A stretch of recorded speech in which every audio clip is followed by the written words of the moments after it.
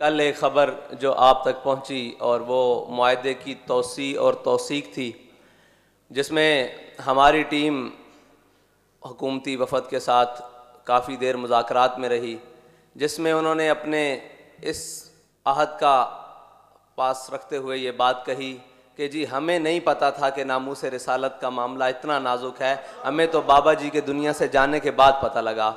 उन्होंने कहा, जी, हम इस मामले पर अमली इकदाम करने के लिए तैयार हैं, हमें वक्त दिया जाए।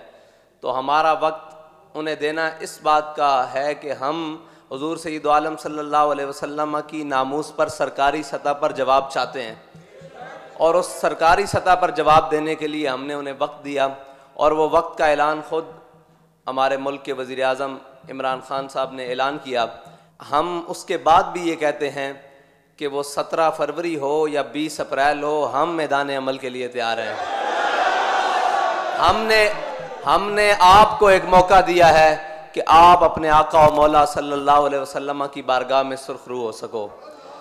और दूसरी बात यह है कि उनका खुद बैठकर हमारी टीम से ये बात करना कि जी, हम इस मामले में अब सीरियस हो चुके हैं। ना तो सिविल गवर्नमेंट हमारी नामू से रिसालत पर कोई बात सुनती है, वो कहते हैं, जी, सब कुछ हो सकता है, नामू से रिसालत के परवानों पर शैल नहीं गिराए जा सकते। उन्होंने कहा, जी, इदारों के लोग, वो भी इस बात के ऊपर हैं कि सब कुछ हो सकता है सबको रोका जा सकता है, नामू से रिसालत के परवानों को नहीं रोका जा सकता।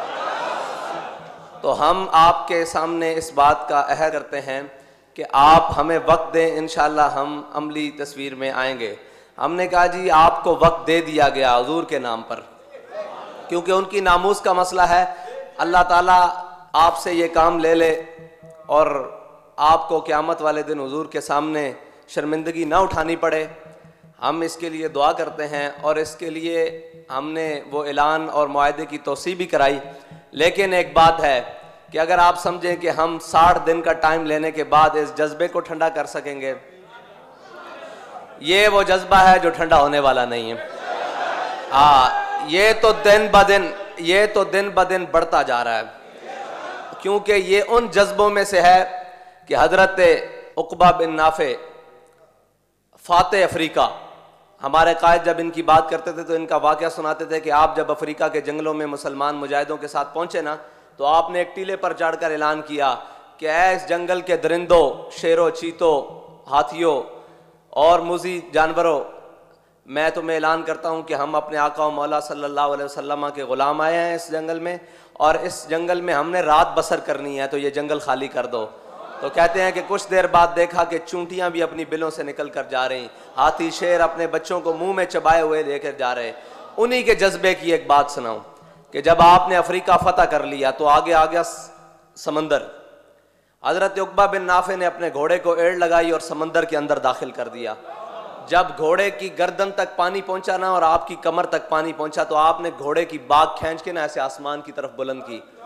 और अपना मुँह भी आसमान की तरफ़ बुलंद करके कहा कि, मेरे मौला, तू गवाह रहना कि उकबा बिन नाफे का जज्बा जिहाद खत्म नहीं हुआ, तेरी ज़मीन खत्म हो गई है। ये बात किसी की गलत फहमी में न रहे कि लब्बैक वालों को साठ दिन का चकमा देकर या साठ दिन हमसे मांग कर हमने तो अपने अखलास की बुनियाद पर दिया है। इसलिए कि हमारी रियासती सतह पर फ्रांस को जवाब हो जाए, क्योंकि हमारे आयद मिलत इस्लामिया, अलामा खादिम हुसैन रिजवी की एक ही ख्वाहिश थी कि वो रियासती सतह के ऊपर गुस्ताखी हुई है तो जवाब भी रियासती सतह के ऊपर होना चाहिए। हमने उस रियासती सतह के ऊपर जवाब के लिए आपको मजीद साठ दिन दिए हैं, उसके अंदर आप करें। और अगर कोई ये समझे कि ये जज्बा ख़त्म हो चुका है तो हमारे बड़ों का तो जज्बा समंदर के अंदर जाकर भी ख़त्म नहीं हुआ। हम जिस कबील में से हैं, वो जज्बे ख़त्म होने वाले नहीं हैं। मेरे आका मौला सल्लल्लाहु अलैहि वसल्लम की नामूस के लिए, जो कुछ हमें ज़िंदगी में तकलीफ़ और परेशानी उठानी पड़े, वो हमारे लिए ज़्यादा रहा है। वो हमारे लिए सरमाया हयात है। वो हमारे लिए वो चीज़ है, जिसको हमने लेकर कल जन्नत में जाना है। जब खालिद बिन सुफियान अल हुजली को अब्दुल्ला बिन उनैस ने वासिल जहन्नम किया। मेरे आका मौला ने फरमाया, जाओ उसको वासिल जहन्नम। ये बड़ा लंबा वाक़ है। उसमें हज़रत अब्दुल्ला बिन उनैस ने चलते हुए नमाज़ भी पढ़ी। वो भी इमाम बुखारी ने नकल किया है। बड़ा लंबा वाक़ है।